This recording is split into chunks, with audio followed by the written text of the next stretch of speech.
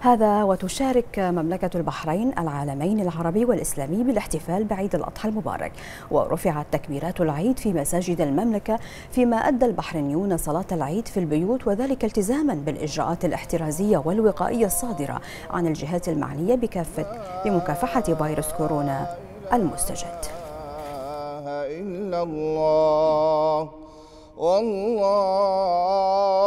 أكبر. الله أكبر ولله الحمد.